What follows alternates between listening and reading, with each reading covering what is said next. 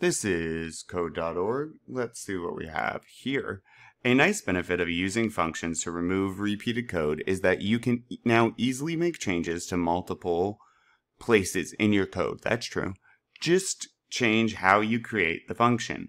And your program will now use the new code everywhere your function is called. Okay, some reminders. A function call is when we ask it to run.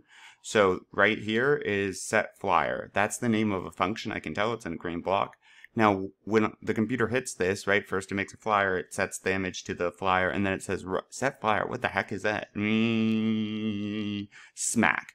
Oh, it's this block of code. It's like a box of code. And it says, okay, I need to run this. Sets the X, changes the Y, gives it a velocity, and it hits the bottom. Once it hits the bottom here, it doesn't just go down at all it goes and says, okay, well, where did this start? Oh, yeah, up here. Okay, well, I'm done with that. And it drops the next line. It would then hit the draw loop. The draw loop's the only function that runs automatically.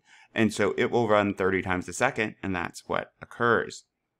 Make changes to the set flyer function so that the start at a random y location 0, 400, and moves velocity every time. So what we did last time, oh, and it for some reason doesn't look like it saved, we did set flyer here.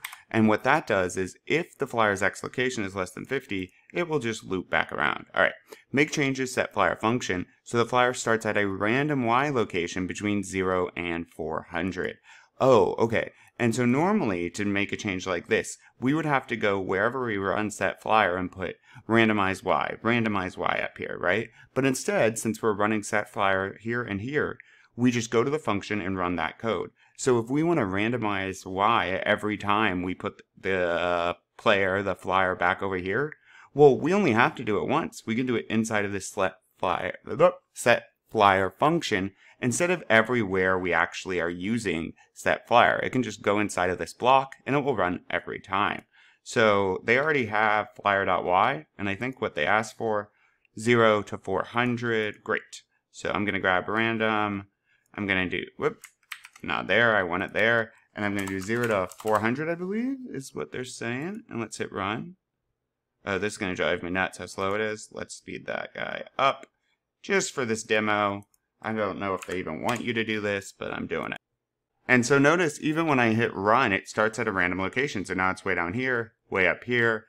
And every time set flyer is asked to run, right when we start, it will randomize the Y location. And then each time it gets past negative 50 and respawns. Pretty cool. Onward.